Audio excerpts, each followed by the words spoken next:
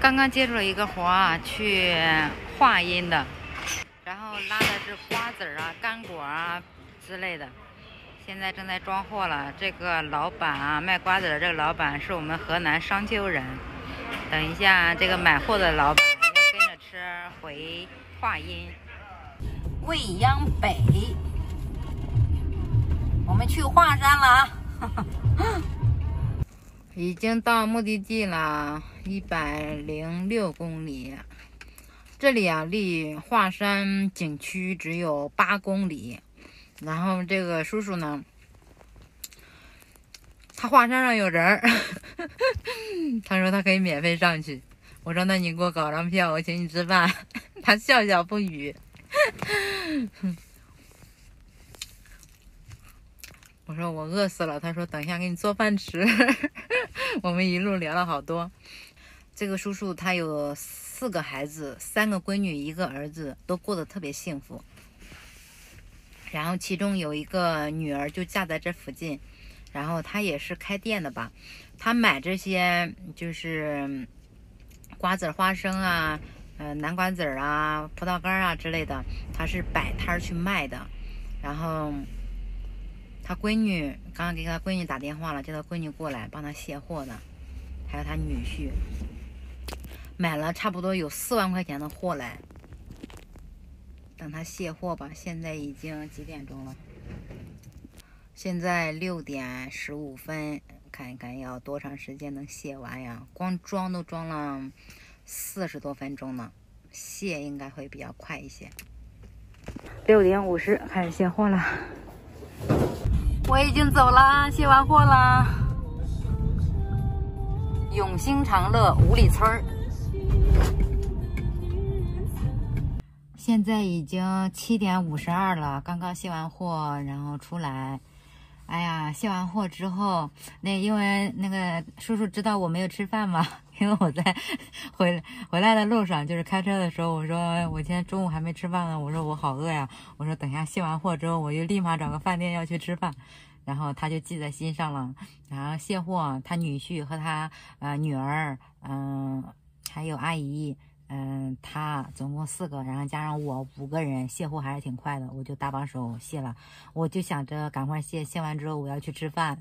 卸完之后我全身都是痛的，因因为他的东西都特别重，嗯，都是那些啊巴旦木呀，嗯腰果，嗯葡萄干、瓜子儿，嗯那个蚕豆，还有什么，呃。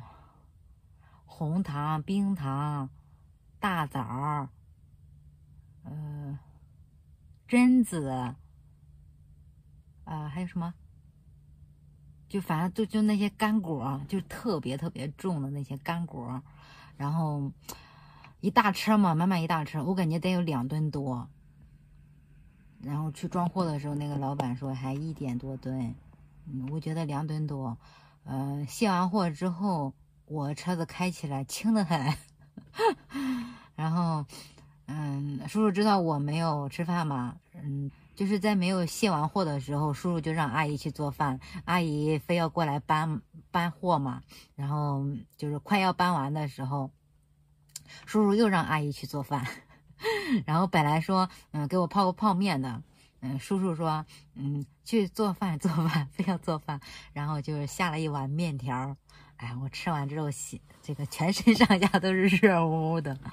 哎，第一次在别人家啊，就是，呃，吃人家的饭。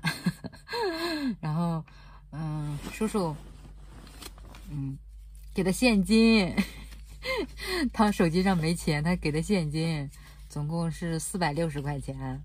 今天多少钱？四百六，一百三十，三十多，一百四十多。总共多少钱呢？大家算一下。今天收成还不错啊！我现在找到一个露营地休息了，给大家看一下。我现在是在往榆林方向的一个停车区，这里就像一个露营基地一样的，然后有几个停车位，然后有卫生间。嗯，不过这里因为靠马路比较近啊，大车会比较多。不知道今天晚上能不能睡得着？应该能睡得着，因为我今天搬货了。我现在全身都是痛的。好了，不说了，我要洗洗，赶快睡觉了。哎呀，这个单双线号真的是好讨厌呀！刚刚你看 接到这个活，这个蛮多的，因为一旦单双号限号的话，就会有很多车子就是干不了活，所以这两天那个货拉拉都爆单了，都特别多的单子。哎呀，明天又回不了西安，我现在在渭南，离华山比较近的一个地方。好了，不说了，睡觉了，拜拜。